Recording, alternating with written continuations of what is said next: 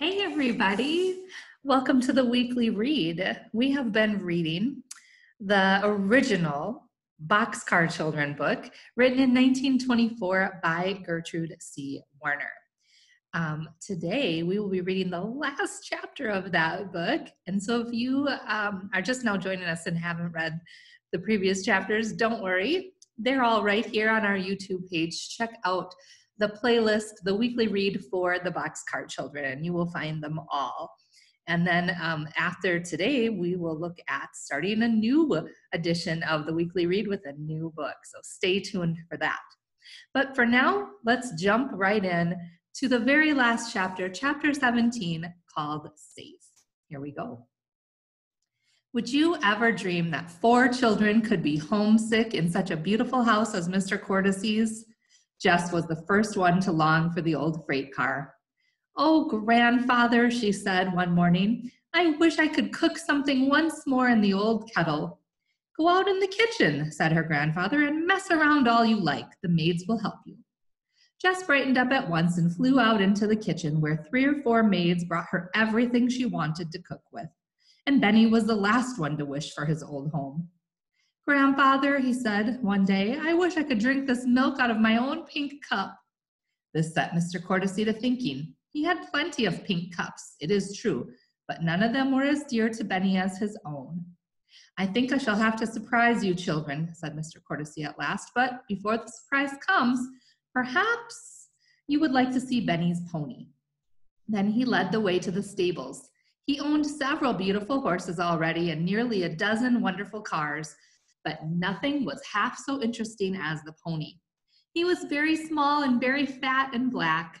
His wavy tail was so long that it nearly touched the ground, and his name was Cracker because his birthday fell on the 4th of July when firecrackers were popping.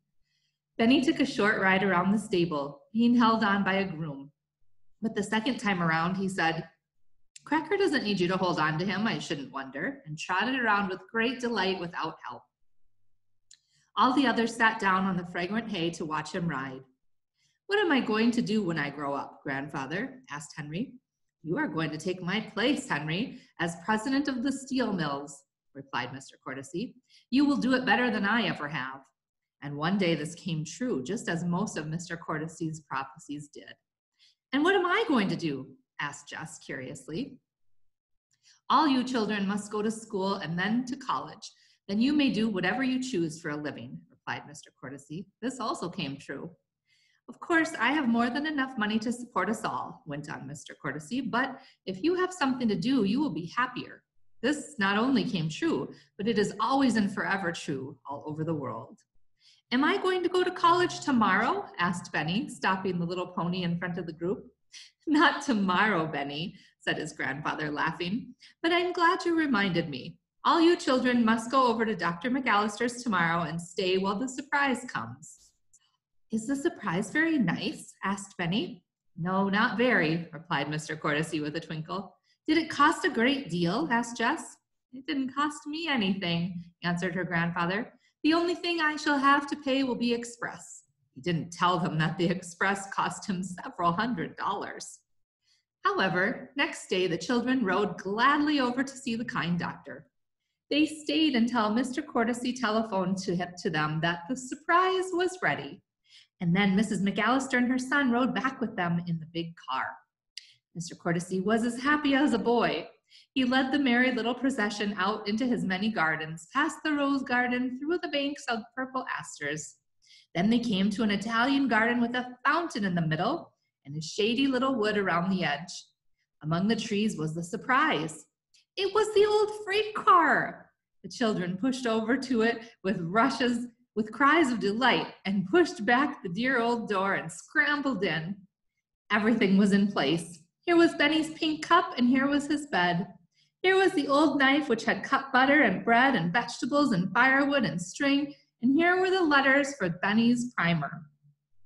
Here was the big kettle and the tablecloth, and hanging on a nearby tree was the old dinner bell.